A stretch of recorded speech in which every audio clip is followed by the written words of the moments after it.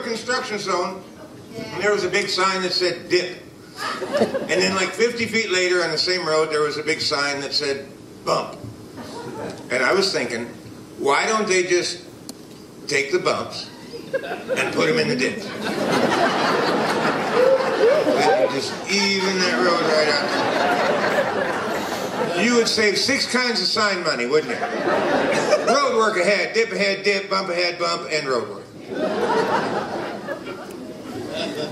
My engine light on my car. I bought my car three years ago. Ten minutes after I bought it, the engine light came on and has been on ever since until this morning when it went off all of a sudden for no reason. I hope it's nothing serious. the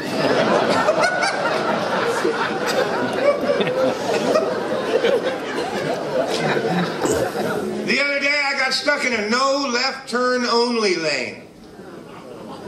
No left turn only. I didn't know what to do. I just ended up taking the plates off and leaving it there. That's what I did.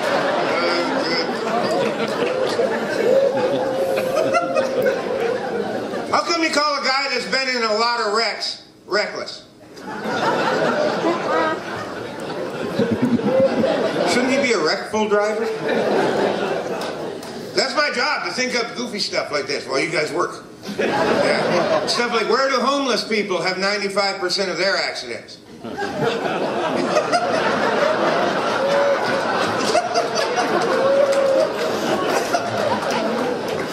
if an armless guy has a gun, is he armed?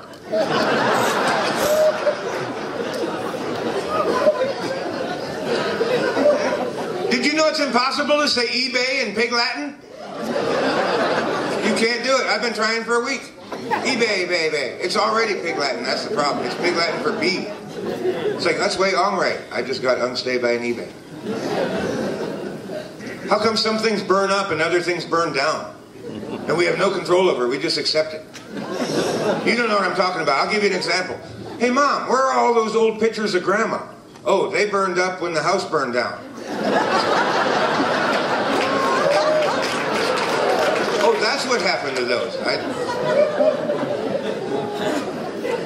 I saw a show on A and E. This was great. This guy got. It was a documentary. This guy got stabbed in the heart, and and he was fine. It, they, every, it went, didn't hit the right spots, and everything was fine. And they interviewed him, and you know what he said in the interview? He said, "I am the luckiest man in the world." That's what he said. Yeah, and you know what I was thinking?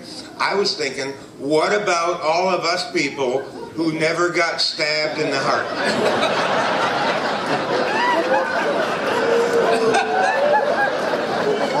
now, where do we fit on his little fantasy chart? His little luck graph.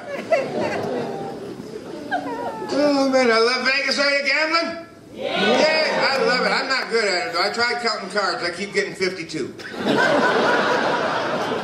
I'm good at the slot machines. There's one out here in the corner. Every time I put in a dollar, I win a Coke. Come on, Coke, Coke. Daddy needs a beverage. Coke. Oh man.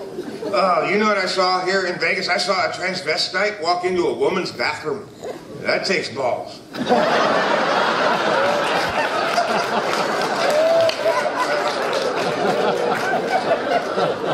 I'm not gay myself. I, I have one thing in common, though, with gay guys. We have the same amount of sex with women. yeah, we just we diverge at that point. And, uh, but that's my problem, isn't it? I uh, I love it here in Vegas. You know, Evel Knievel used to live here. I met him like 10 years ago when I first moved here. He, I was walking past the fountains at Caesar's Palace one night, and he tried to jump me. Yeah, he twisted his ankle. It was in the paper. You know what? This is weird. They have these new, they have these pool parties here in Vegas now. Have you heard of them? These big fancy pool parties. They even have have naked ones, like nude beaches. But they're pools, but you're allowed to like like European. You can go naked. I got arrested there this summer. You know what they tried to charge me with? They tried to charge me with putting on my sunscreen too fast.